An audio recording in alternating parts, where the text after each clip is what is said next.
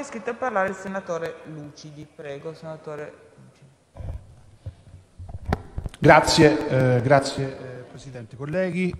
membri del Governo, ma eh, sono degli interventi molto particolari quelli che facciamo questa mattina perché purtroppo più, più che entrare nel merito ci, ci troviamo tutti qua accomunati da un grande senso di sdegno contro il comportamento della maggioranza e del governo. È già stato detto, io denuncio con forza e segnalo a lei, signora Presidente, di riportare poi alla Presidente Casellati quanto avvenuto questa mattina in Commissione Affari Esteri, a mio modo di vedere un fatto assolutamente vergognoso, perché la Presidente Casellati ha assegnato alla Commissione Affari Esteri, come a tutte le altre commissioni, il, il parere, la richiesta di parere sul decreto rilancio, questo tomo di 266 articoli che sicuramente si pone al primo posto nella decretazione della Repubblica Italiana. Quindi noi avevamo preparato un parere di minoranza, ebbene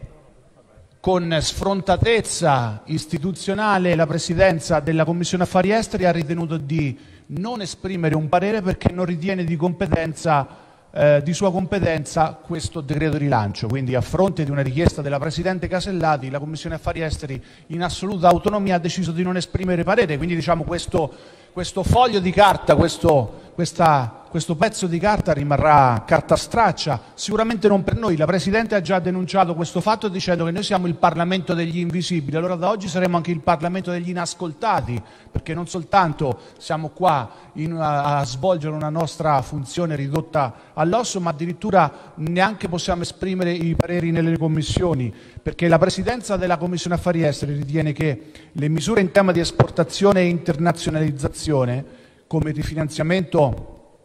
l'anno 2020 del Fondo per la promozione integrata per i mercati esteri non siano di competenza della Commissione affari esteri, il rifinanziamento del Fondo 394-1981 della legge 394 non sia di competenza della Commissione esteri, l'incremento del capitolo 25-15 del Mise non è secondo la Presidenza del Senato, competenza della Commissione affari esteri, così come secondo la Presidenza della Commissione affari esteri non è di competenza le misure per, la, per, la, per l'accoglienza, per la, eh, le strutture per il sistema di protezione delle eh, persone richiedenti asilo e tutta una serie di eh, altre argomentazioni, come per esempio la funzionalità uffici, dei nostri uffici all'estero, della nostra rete diplomatica consolare, in considerazione anche del ruolo cruciale che tali uffici svolgono nella strategia di rilancio economico del nostro Paese.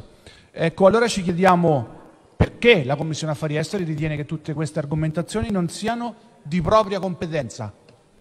Io invece in questa, questa mattina, in questo breve intervento che eh, lascio agli atti per significare invece che noi vogliamo ribadire la nostra funzione